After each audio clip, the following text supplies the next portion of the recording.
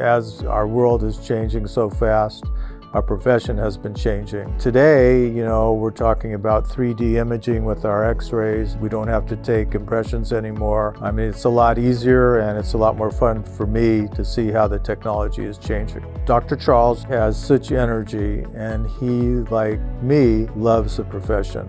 I just absolutely love working with him. I'm amazed the quality of care, the number of patients we see, the product, I mean the smile, the patient's bites being perfect. Um, we've embraced technology, we've embraced Invisalign, which I think is really the future of orthodontics. Gives us more control and you know treat patients better and better.